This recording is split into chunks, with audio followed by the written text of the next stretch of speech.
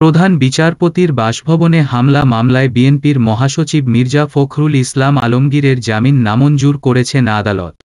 একই সঙ্গে জামিন কেন দেয়া হবে না তা জানতে চেয়ে রুল জারি করেছেন।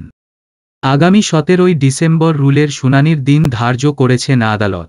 সকাল এগারোটায় বিচারপতি মোহাম্মদ সেলিম ও বিচারপতি সাহেব নুরুদ্দিনের দ্বৈত বেঞ্চে শুনানি হয়। বিশ্বের এক নম্বর মধু ডাবর হানি। প্রতিদিন সকালে এক গ্লাস গরম পানিতে ডাবর হানি করে তোলে শক্তিশালী রোগ প্রতিরোধ ক্ষমতা। করোনা ভাইরাস প্রতিরোধে সম্মুখসারী যোদ্ধাদের ডাবরহানির পক্ষ থেকে শ্রদ্ধা। গত ২২ নভেম্বর নাশকতার মামলায় মির্জা ফখরুলের জামিন আবেদন নামঞ্জুর করেন মহানগর দায়রা জজ আদালত এরপর হাইকোর্টে আবেদন করেন তার আইনজীবী।